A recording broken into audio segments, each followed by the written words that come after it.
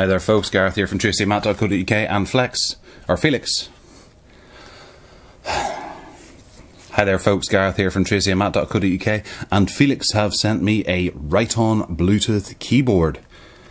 This is a $50 keyboard that's incredibly light.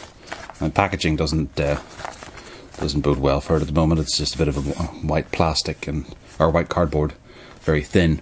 But uh, here's the features on the back because I'm, I'm, hoping this is going to be a real killer. Uh, it's ultra thin, lightweight portable Bluetooth keyboard, compatible with iOS, Android, and Windows devices. Comfortable spacing keys with iOS shortcuts. Two months between charges, and it's only 4.5 millimeters thick and 160 grams in weight. Uh, operates over 10 meters. There it is, en français. Okay, so let's get it out and have a look at it.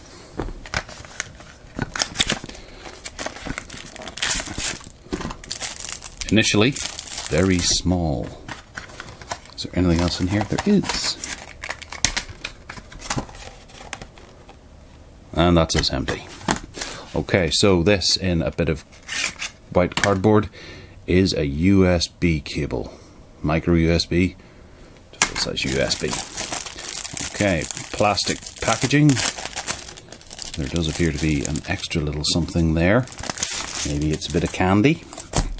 Okay, so this is the keyboard. It's very light. It's very, very light.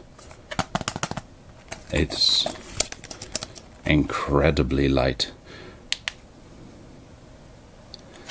Um, it won't take too many knocks. It's it's very flimsy plastic.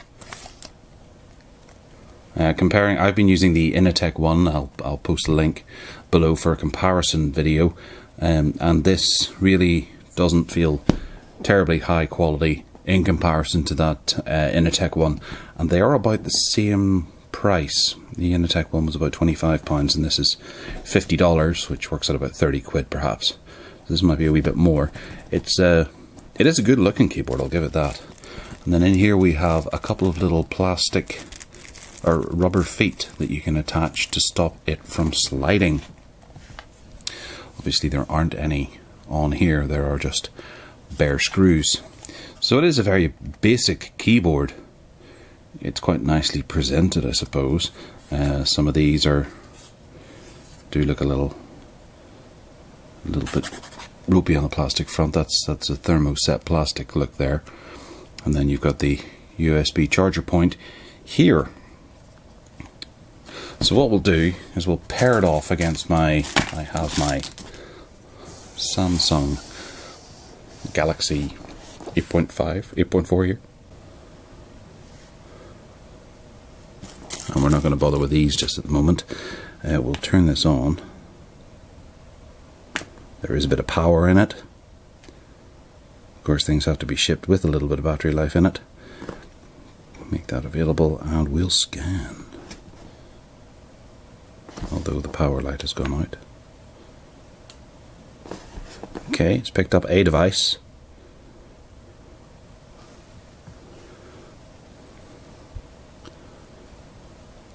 There we go, Bluetooth keyboard, pairing,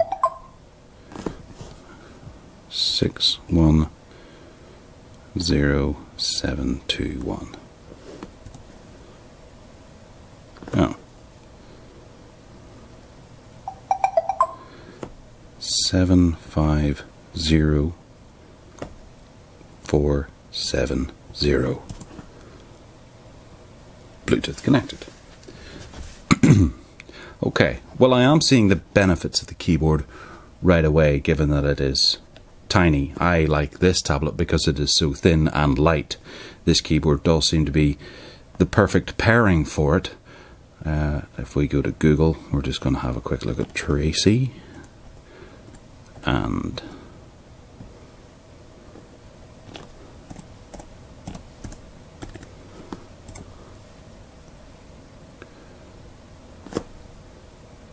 No, didn't even get close there.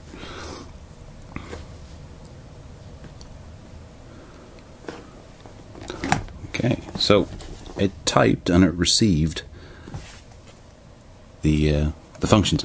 Okay, so let's have a quick look and see what functions we actually have on the keyboard here. We have control button down here and we have a function button.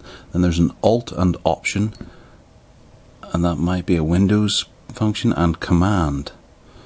So it does look to cater for a number of different operating systems. I'm not too sure what that stain is. Maybe it's from my hands. Okay, shift caps lock tab. And along here we have functions attached to the typical numeric pad. Now this is American, so we are losing the pound sign up here. And we are losing the inverted commas or speech marks over the 2, which will be down here instead. Uh, there is, we'll have a look and see what this does. Function that does nothing.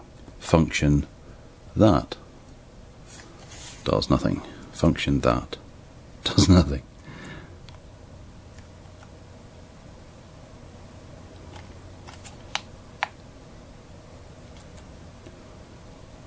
I'm wondering actually if the uh, the battery here is dying a bit.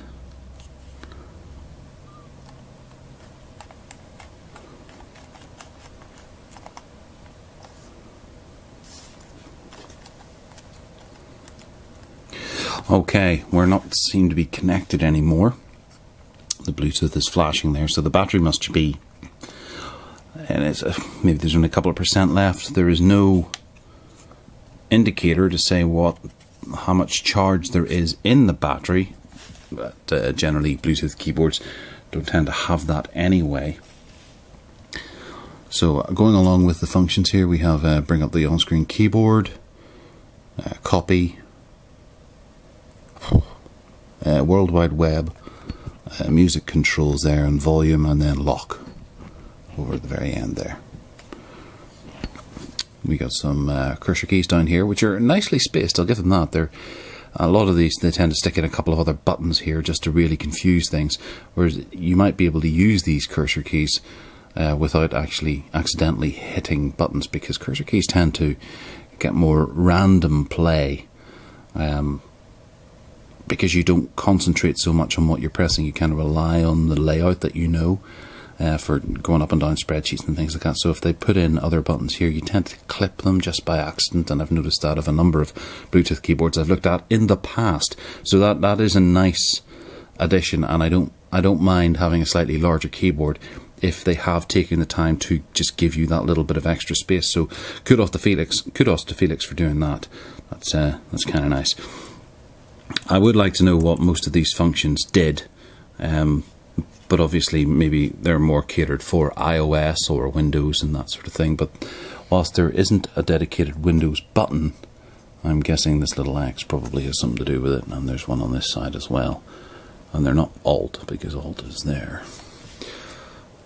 But yeah, um, for for fifty dollars, I think you can do better, um, especially that Inateck one because it had the lovely uh, aluminium back to it that really strengthened it a good deal, and it was it was cheaper than this. It is slightly bulkier. That I have to give it to them. They have managed to get this down to almost credit card thickness. That there's nothing to that at all. That is damn thin. But in in saying that, that takes away uh, an awful lot of the uh, actual robustness of the keyboard. Packaging in these, I guess that's the only solution they can have because feet can cause problems. Feet add to thickness having them there, so at least this way they're making them optional extras.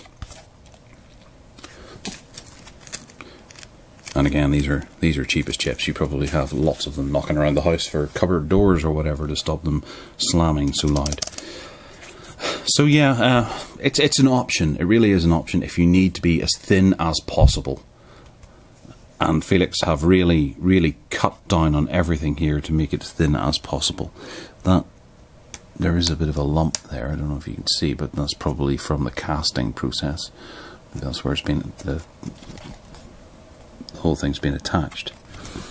And there's a bit of a stylish swipe here at the, the port connector, um, which you know works. But I would have I would have liked to have seen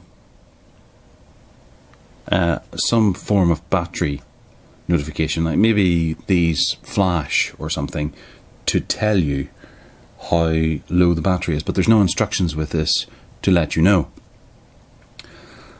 But it, it, it's got a good layout. There seems to be a decent amount of space between the keys. Uh, they're clear, uh, large. Can't really, I can't really say anything too bad about it. It's, it's, it's okay. It's thin. It's very, very, very thin. And for that, well done, Felix. Nice product.